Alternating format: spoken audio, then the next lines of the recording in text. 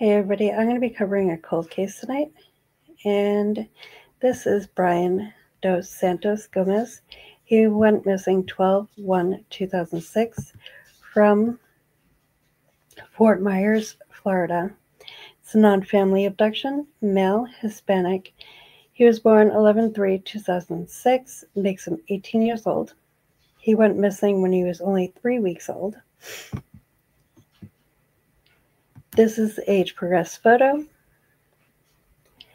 This is a similar photo of the vehicle that abducted him. And this is a composite sketch of the woman that possibly abducted him.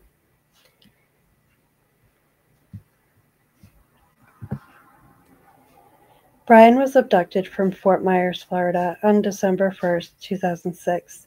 He and his mother, Maria de Fatima, Ramos dos Santos were waiting with Janice, Maria's friend, at a bus stop when a woman drove up and asked for directions. She said she had been driving around for eight hours trying to find her mother's house. Maria, Bryan, and Janice got on the bus, but the woman followed the bus until they got off of the bus and she asked them for help again. Maria, Bryan, and Janice got into her car. Um, the woman later let Janice go. Shortly afterwards, she demanded $500 and made threats to Maria. She said she was going to Tampa, Florida, but not to tell the police this, or she would harm the woman's families.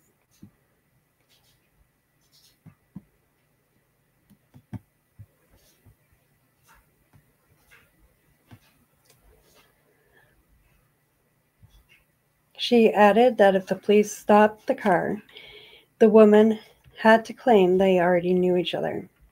The abductor eventually dropped Maria and her friend off at the roadside near the housing development off Three Oaks Parkway in Estero, Florida.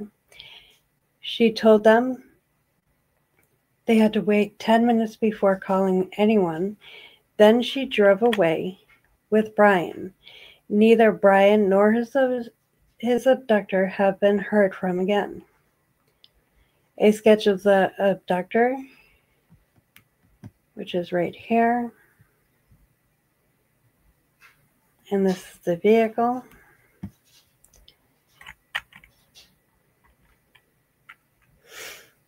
She was five foot, well said to be five foot, four inches tall, with straight black hair, which was partially pinned up in a bun. She wore blue jeans and a black blouse t shirt and spoke Spanish. She is believed to have been driving a black two door 1998 to 2003 Ford Explorer, which is this. And this is the age progress photo of Bryan. What he may look like today. Maria stated there was a diaper bag and car seat in the SUV, indicating the abduction had been planned. The abductor should be considered to be armed and dangerous.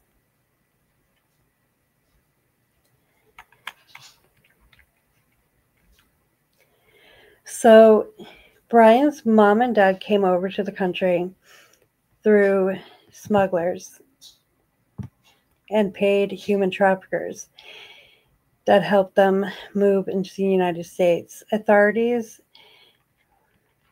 at first believed that Bryan's abduction could have been because of retaliation.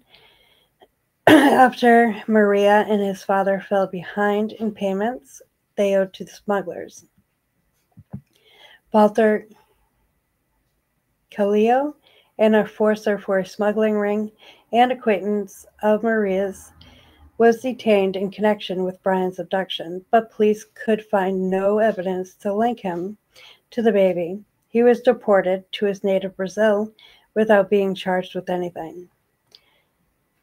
Bryan's parents admitted to their illegal status and to owing hundreds of dollars to the smugglers, but denied that this could be the reason the child was taken. Investigators now believe Bryan's kidnapping was a random crime. After his abduction, Fort Myers woman went to the police and said she had been walking on the sidewalk with her infant grandchild when she was approached by a woman in a black SUV who asked for directions. This was the same general vicinity as where Bryan was taken and occurred only hours after his abduction. The grandmother and Bryan's mother both picked the same person out of a photo lineup. The woman they identified was later cleared of suspicion, but investigators stated the two incidents were too similar to ignore, and they believe Bryan's abductor had also accosted the other baby's grandmother. The abductor may be a woman who wanted a baby of her own. Possibly she had experienced a miscarriage or a stillbirth before she took Bryan. Bryan's parent had two additional children following his abduction. Bryan's father was arrested for driving without a license in 2009 and was given over to the custody of immigration authorities the following month pending deportation proceedings. He was released from detention under a supervision order in June 2010. However, it remains to be seen whether he will be deported or not. Maria stated she was going to try to get U visas for herself and her husband. A U visa is for victims of violent crimes and allows undocumented immigrants to remain in the United States legally for up to four years. Bryan's disappearance remains unsolved, and his kidnapper has never been identified. Authorities believe she may have been from South America or Mexico originally, or possibly a second generation immigrant, and that English may be her first language. Although she spoke Spanish during the abduction, his case remains unsolved. Very interesting and very a lot of twists in that in Bryan's case.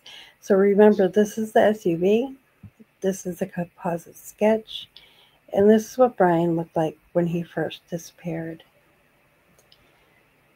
And he still has not been found yet. So please remember to hit the like button. Comment below the video. Let's get this case in the algorithm so we can bring Bryan home. Thank you for watching. And as always, have an amazing night and sending love and light. Bye, guys.